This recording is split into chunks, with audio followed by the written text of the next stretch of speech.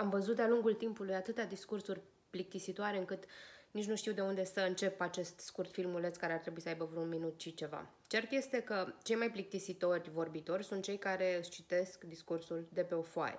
Fie pentru că se tem și nu știu dacă își vor aminti ce au de spus, fie pentru că așa știu ei că trebuie să făcute lucrurile. Sunt varii motive pentru care un, un om vine, se așează în fața unui public și începe să citească de pe o hârtie. Nimic mai uh, greșit în toată treaba asta. Haideți să vă dau un uh, pont cu privire la structura unui discurs de 30-40 de minute pe care poți să-l ții lejer în fața unui public fără să-l citești de pe o foaie și fără să devii plictisitor. Poți să faci următorul lucru.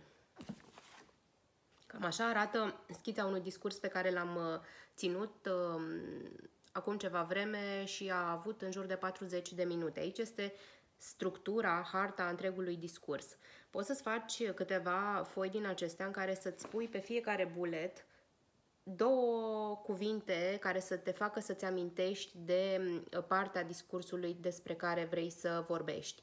Una poate fi la tine pe masă, în locul în care vrei să ții discursul, iar dacă vrei să te miști prin încăpere și vrei să ai mobilitate, poți să mai plasezi două, trei foi în colțuri uh, strategice. În felul acesta îți vei aminti ce ai de spus și nu te vei uh, uh, plimba cu mai multe hârtii în mână și nu vei căuta foaie după foaie ce ai de spus și cum ai de spus, pentru că este suficientă o simplă privire, îți arunci ochii și îți aduci aminte unde ar trebui să te situezi cu discursul tău. Este simplu. Încercați!